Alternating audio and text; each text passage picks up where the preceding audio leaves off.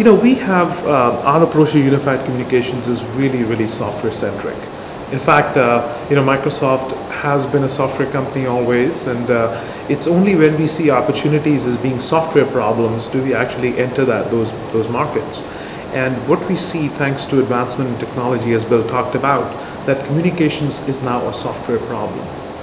We believe that we are big believers in software. We believe that when you can map something to be, into the software domain to be a software problem, you you can innovate very quickly with it. It's a very malleable medium, so you can adapt it. It's very flexible.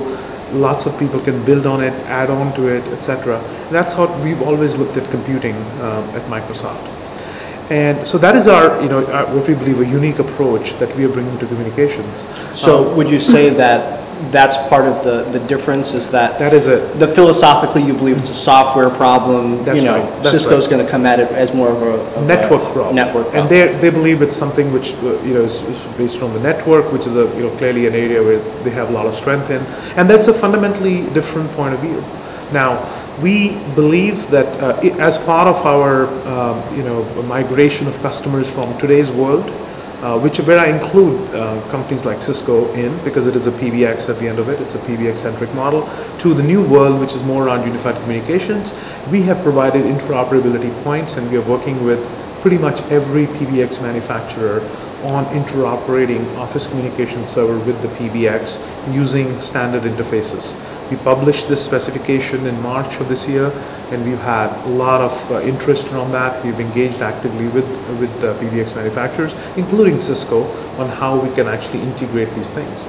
Now, how, how committed can they be to working with you when, you know, on the one hand you're saying we're working alongside them, but then you're saying, but in a few years you won't really need the PBX folks anymore. Wouldn't they be more likely to embrace somebody like Cisco, who they see as more of a hardware player, who's not trying to work them out um, uh, sooner than so, later? You know, it, at the end of the day, I mean, it's not what one vendor wants or desires, which uh, you know what is what happens. It is what economics drive, what uh, what innovation, what customer choice, uh, you know, what what customers pick is eventually the solution which which prevails.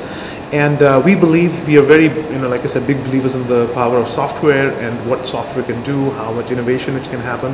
And we believe that's where uh, the world is going to go. Now, how do you get them on board with you though? When you're saying, well, you're going to be extinct. Uh, customers or partners? okay, the, the, the PBX partners. So you're saying we're working with you, we want to make sure that this works together, but then you're saying to customers, but eventually you won't need the PBX folks anymore. They're like the mainframe folks. They're going to go the way of the dinosaur. So uh, th there is an opportunity for them as well. One is that they have to respond to their customers. Otherwise, customers are going to go to somebody else. So uh, if customers are demanding certain type of integration, uh, PBX vendors have to do that. But the other opportunity, I believe, is what you saw Nortel, Ericsson, and Mitel, who we announced today, are doing. What they're saying is that they're going to take their expertise around communications and they're going to transfer that onto the Office Communication Server platform, mm-hmm. which is, uh, you know, which has call, control, and VoIP capabilities. Because even in the new world, there are new opportunities. Uh, just to give you to draw an analogy from the mainframe world, HP was in the computing business which was vertically integrated. Mm-hmm. HP today is a very, very relevant player in technology. They're building certain hardware components, they're building software services, they've got some software applications. So there is a transformation which is there for PBX vendors as well. Now some PBX vendors are going to make that transformation and some are not. Is Microsoft providing computing, a vision of it though? Like what does that look like for a PBX company under the old model yes. to transform itself? What do they have to do? Absolutely. So, so we have, uh, I think Nortel today did a press release around that. I think Mitel has made some statements. Ericsson is. Uh, let's look at Ericsson. What Ericsson is doing, Ericsson has figured out that, you know, that they have a lot of strength in mobility. Mm-hmm. They have, uh, you know, carrier infrastructure. Um, and what they want to do is they want to build uh, additional components around the Office Communication Server uh, infrastructure that extend the unified communications experience onto any mobile device. So that's an example of how Ericsson can add value um, on top of the Office uh, Communications and Voice platform. Now, what's interesting is, you know, prior to uh, unified communications, the software-centric view, if you look at the market share of these PBX vendors, some had 12%, 8%, 14%, it was very fragmented. Now, folks who join the, you know, get on board with the train of unified communications, they have an opportunity to address a much broader base. So they are not, you know, they they go from supporting, let's say, five percent of a vertically integrated uh, stack to maybe twenty-five percent of a of a horizontal functionality, which can be on top of this platform.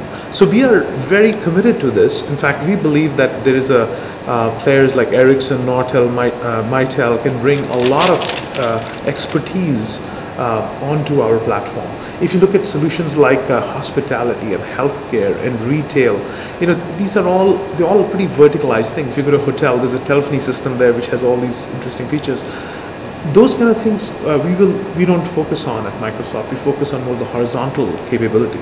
So taking our horizontal platform, customizing it for these different environments, creating value there and creating a lot of new innovation there so that you're not just limited to you know those five buttons on a hotel phone what you can do. Maybe there's a lot of interesting things they can do. Those are the kind of opportunities telephony players today uh, can uh, participate in. Um, but the bigger opportunity is that even beyond the PBX players a complete open ecosystem which has you know tens of millions of ISVs uh, developers out there who can now innovate on top of UC platform as well